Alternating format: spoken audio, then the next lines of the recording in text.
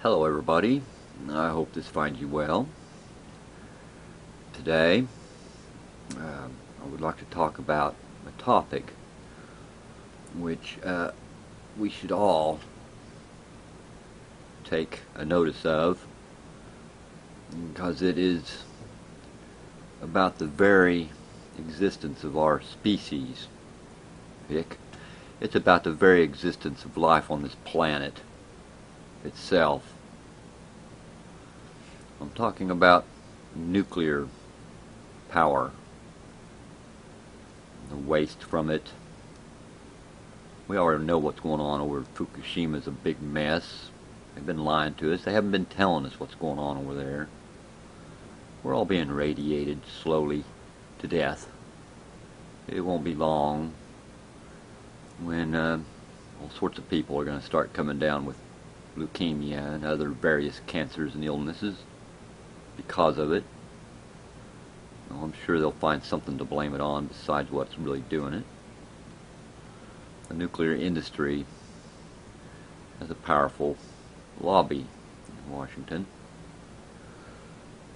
Um, and, um, I'd like to bring attention to a YouTube user, um, Kevin D. Blanch.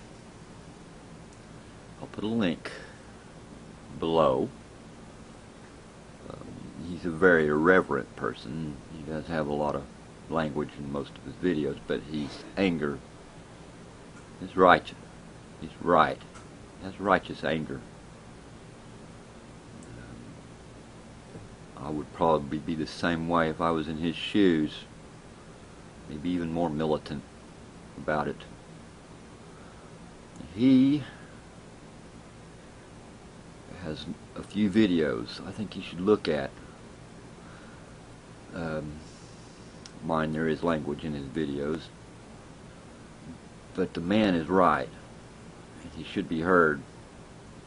We should all stand up and make ourselves heard about the issue he's talking about. You say, uh, our government years back spent billions, billions of dollars on a hole called the Yucca Mountain, where it was planned to put the nuclear waste that these reactors are creating daily. Currently, all this spent fuel this highly radioactive spent fuel sets on location at that reactor site, much like it did at Fukushima. We've seen the results of doing that. All it takes is one good natural disaster and my opinion, we should shut down every nuclear plant there is dismantle every bit of it and put it in the ground where it cannot harm anyone deep in the ground. Those salt mines at Yucca Mountain would be perfect for that. It would contain the radiation. Yet, um, they stopped that. Mostly because people not wanting to have that crap being transported through their towns on our highways to the site. Now, which would you prefer? Having them ship that stuff to Yucca Mountain, or having that stuff just sitting there waiting for a disaster to kill us all?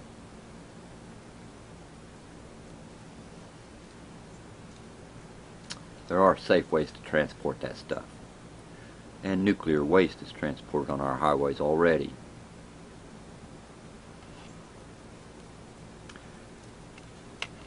Now, I brought up Kevin because formulating a plan of action and I think we should support him wholeheartedly in his plan whether we agree with him politically or not.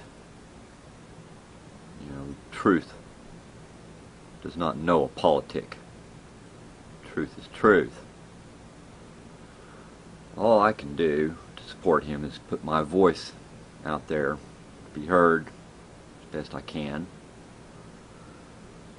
Do not have the funds or ability to travel to Washington or wherever to protest. I don't have money to donate to the cause. But I have a voice. We should all, we all should use our voices. Nothing else.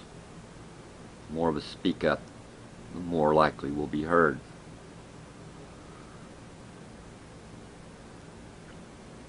I've had a lot of friends die of leukemia and other cancers in the last few years.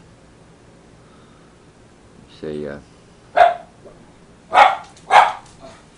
this area was downwind of the tests, open air tests back in the late 50s, early 60s, before they shut it down, put it underground. And uh, a lot of the people, you know, these cancers take time to develop in your body before you even know you have it. Oftentimes, by the time you find out you have it, it may be too late to do anything about it. Um, they're killing us slowly with this crap. Oh, we might not feel it. You can't smell it. You can't see it. You can't taste it. But it's going through us all the time. In our air, in our water, in our rain. It's already causing mutations to plants and animals. There'll be birth defects, more of them, stillborn birth defects, other oddities caused by this. It's already too late to stop some of this. This stuff has a, a life that is much, much longer than we are, and it's patient. You may be infected today, and it may take 20 years before you notice it. What's this doing to the world? Will there be life in 20 years? Or will this planet be nothing but a, a desert or a place full of bizarre mutations? Life expectancy for our grandchildren could be much lower than what it is today.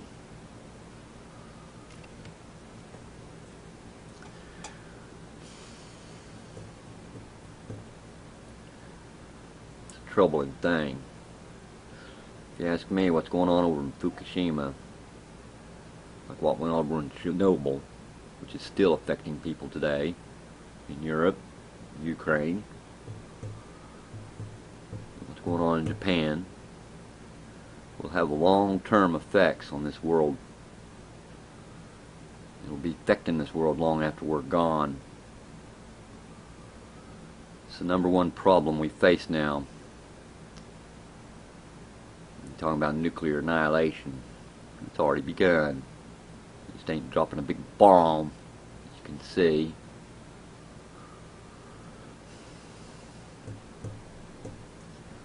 Something needs to be done. Our government's doing the opposite. They want to push more nuclear power, not less. Already, the reactors we have now are outdated, worn down, falling apart. Hardly one of them out there now that doesn't have a record of some incident, a leak or problem. And all they do is like put a band-aid on it, go on business as usual like nothing's wrong. They lie to us, you know. It's time for free energy, isn't it? I'm tired of being manipulated and controlled by these monopolies that control our energy. There are things out there now which are much cheaper and more reliable, which don't burn any fossil fuels or any fuels at all. Work naturally. You can have a little box this big sitting in your house, powering your whole house. And the longer it runs, the better it runs. I'll put a link to that below too. This is research that is as old as the 70s. They've been keeping quiet. Tell you about. Our government knows about it. Our military's using it.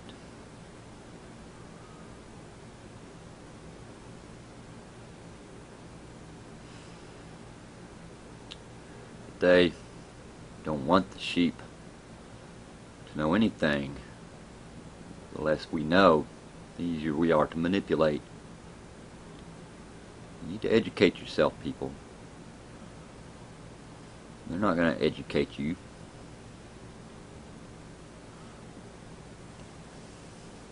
Do some research. Don't just take my word or anybody else's word for these things. Study it yourself. And um, check out Kevin. Say hi. In your support.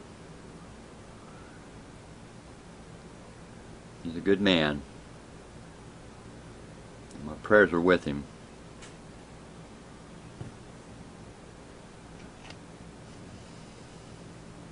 Stay strong, Kevin. Bless you. Peace, love, and understanding be with you all.